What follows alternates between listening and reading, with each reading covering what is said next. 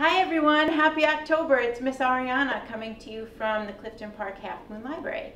And I'm going to do two Halloween themed crafts with you today that you could do using items that you have already in your home. We're going to be doing a cute skeleton and a super cute fuzzy cotton ball ghost. So for the ghost, we're going to need a bunch of cotton balls, white paper, and black paper. And for the skeleton, we're going to need 20 Q-tips. Six of them are going to be cut in half, so you might need your older person to help you with that. And you'll also need black paper and white paper. So let's get started.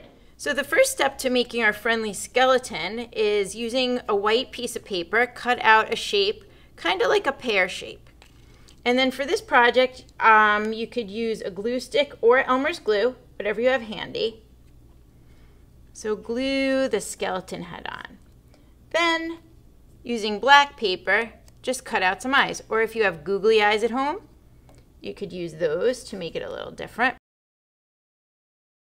If you want to add some teeth to make like a smiling skeleton, like in our sample, you could go ahead and do that. I just used a little couple pieces of white paper for that.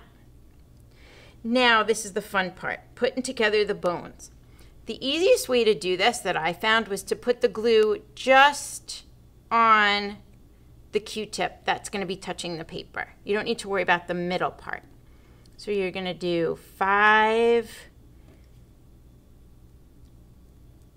chest bones, or ribs, I guess they would be. Get those down and just press, and they'll stay. Then we want to do our spine.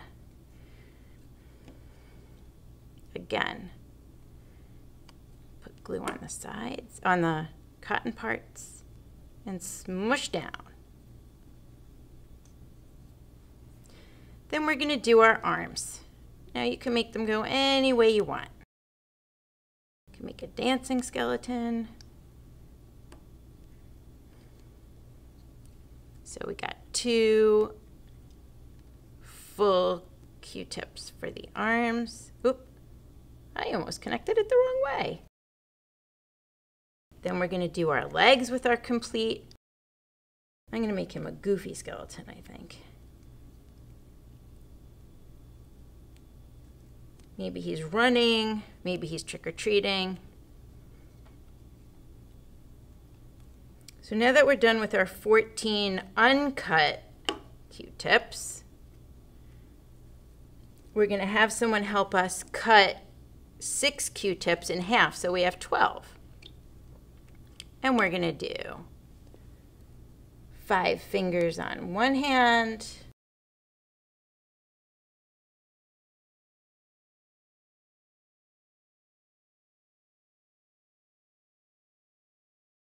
You guys could practice your counting with this too. One, two,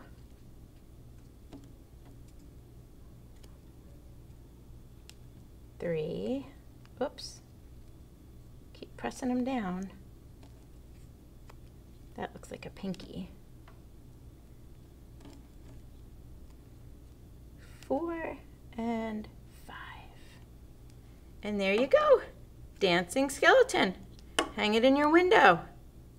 So for our puffy ghost, which is a lot of fun to squish, let me tell you, um, you'll take some black paper, cut out eyes, whatever shape you want. I went with the traditional oval shape and a smiley face and put those to the side. Then there's no wrong way to do this, no right way to do this. You draw a ghost shape just like this. Or maybe you want to draw a ghost shape like this.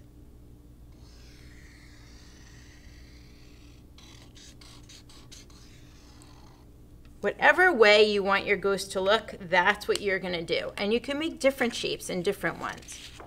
I'm going to go with this one right now because it's the easiest to do it. I'm going to show you how to do it.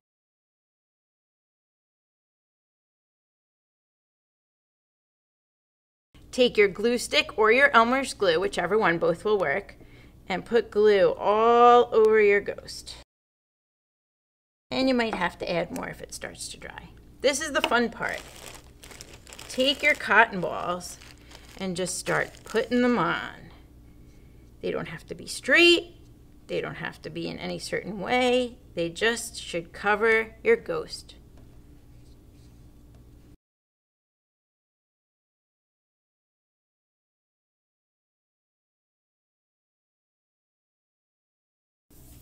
Next thing you do, just put a little glue right on your smile.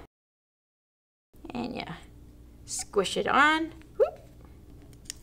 Do the same thing for your eyeballs. Again, if you have googly eyes and you want to use those, great. If you want to make blue eyes, great. And there you go. Puffy Ghost.